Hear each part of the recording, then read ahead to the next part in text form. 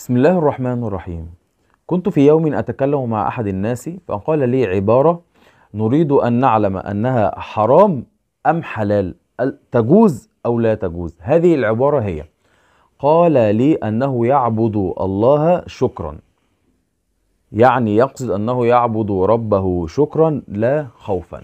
فهل هذا الكلام يجوز؟ الإجابة هذا الكلام حرام ولا يجوز.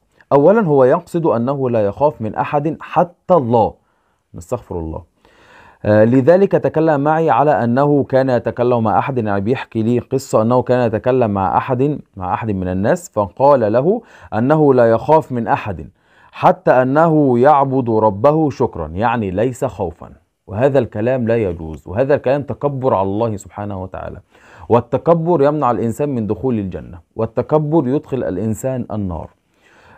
وقال الله سبحانه وتعالى العظمة إزاري والكبرياء ردائي فمن نازعني فيهما عذبته. فهي آه، سبب آه، في أن يعذب الإنسان. فعلى الإنسان ألا يتكبر هذه أولا. هذا الإنسان لو كان يعلم معنى كلامه فإنه يمكن أن يخرج من دائرة الإسلام بذلك. ونعوذ بالله من ذلك. وإني أحسن به الظن أنه لا يعلم ذلك. لأن هذا الذي قاله سبب آه، في أنه دخل في دائرة سب الله سبحانه وتعالى ونستغفر الله من ذلك. وهذا يقلل من قدر الله سبحانه وتعالى عباراته يعني أو عبارته تقلل من قدر الله سبحانه وتعالى. وقال الله سبحانه وتعالى ومن قدر الله حق قدره. طيب. لأن الخوف من الله واجب على الجميع. الخوف من الله ليس أمرا مندوبا. يمكن أن يخاف أو لا يخاف. الأمر من الله نجاة أصلا للإنسان في الدنيا وفي الآخرة.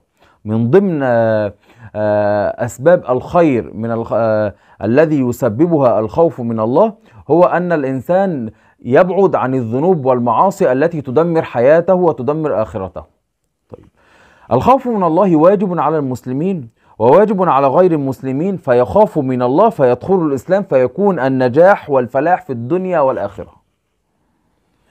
وغير المسلم لو دخل الإسلام بدل الله السيئات إلى حسنات له في الإسلام. حسنات سيئاته قبل الإسلام بدلها له حسنات بعد الإسلام. فهذه نجاة في الدنيا والآخرة. طيب ما هي أدلة وجوب الخوف من الله سبحانه وتعالى؟ طب أنت تقول لي هات لي دليل كده من القرآن يبين الخوف من الله ده واجب عليا. طيب الدليل. قال الله سبحانه وتعالى فلا تخافوهم وخافوني إن كنتم مؤمنين. طيب. قال الله سبحانه وتعالى فإياي فارهبون. يعني خافوني. الله يقول عن نفسه فخافوني وارهبوني. قال الله سبحانه وتعالى وادعوه خوفا وطمعا يعني ادعوني خوفا وطمعا قال الله سبحانه وتعالى أتخشونهم؟ فالله أحق أن تخشوه إن كنتم مؤمنين قال الله سبحانه وتعالى ذلك يخوف الله به عباده يا عبادي فاتقون قال الله سبحانه وتعالى فلا يأمن مكر الله إلا القوم الخاسرون والأمن عكس الخوف فلا بد على الإنسان أن يخاف من مكر الله به. إن تعدى حدوده يمكر الله به. إن مكر يمكر الله به. يعني وجب عليك الخوف من مكر الله سبحانه وتعالى بك.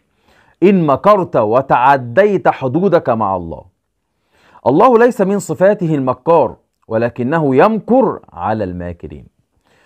ويكيد على الكائدين. إنهم يكيدون كيدا وأكيد كيدا. قال الله إنهم يكيدون كيدا وأكيد كيدا. فإن عندما بدأوا بالكيد تستخدم معهم هذه أو هذا العقوبة وهذه آه، المكرية. ولا يكون الخسران إلا بترك واجب أو فعل محرم فإنهم أصبحوا من الخاسرين لأنهم زال من قلوبهم الخوف من الله. وعندما زال من قلوبهم الخوف من الله أصبحوا في أمان من مكر الله. وهذا لا يكون من مؤمن أبدا لأنه يعرض نفسه للهلاك في الدنيا والآخرة.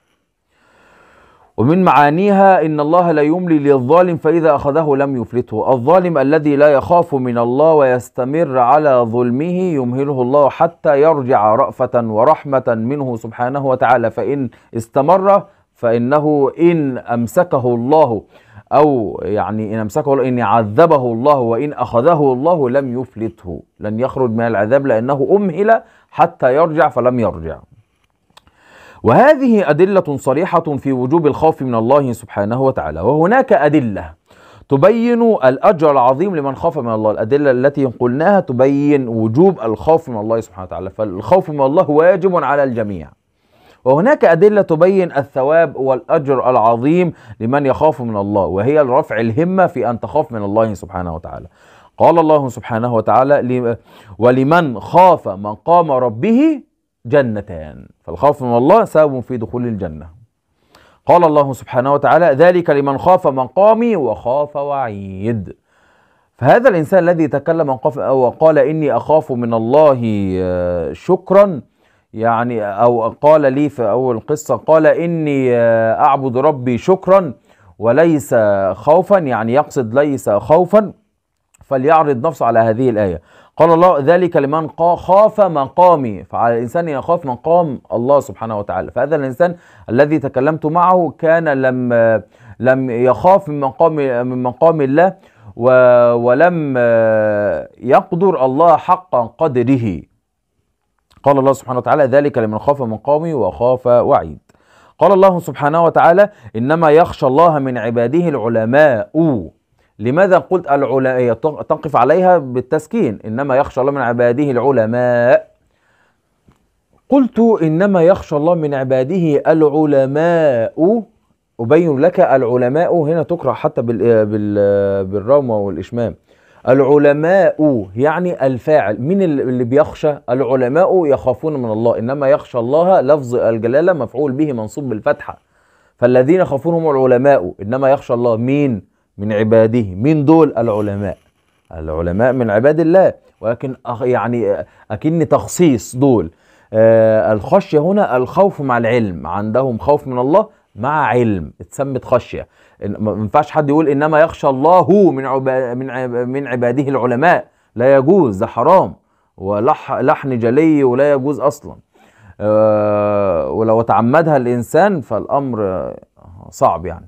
فنقول إنما يخشى الله من عباده العلماء. مين بيخافوا من الله؟ إنما يخشى الله. مين دول من عباده؟ أيوه مين؟ العلماء. تمام؟ تمام. طيب. الخوف من الله ومن عقاب الله ومن عذاب الله لابد أن يكون معك في كل زمان وفي كل مكان. الخوف من الله سبب في ثبات المسلم على إسلامه حتى مماته. فيكون الفوز في الدنيا والآخرة. الخوف من الله سبب في إدخال غير المسلم الإسلام فيفوز بالدنيا والآخرة بعد إسلامه. الخوف من الله نجاة. الخوف من الله واجب عليك واجب وليس أمر أمرا مندوبا. هذا أمر واجب عليك. إذا عاش الإنسان في أمان من خوف الله ومن مكر الله هلك في الدنيا وفي الآخرة. عباد الله خافوا الله كي ترجعوا إلى الله. خافوا الله كي تتوبوا إلى الله. خافوا الله كي تبعدوا عن الذنوب والمعاصي والآثام التي أهلكت دنياكم وإن استمريتم عليها فستهلك الآخرة. ونعوذ بالله من ذلك. خافوا الله كي تفتحوا صفحة جديدة مع الله سبحانه وتعالى.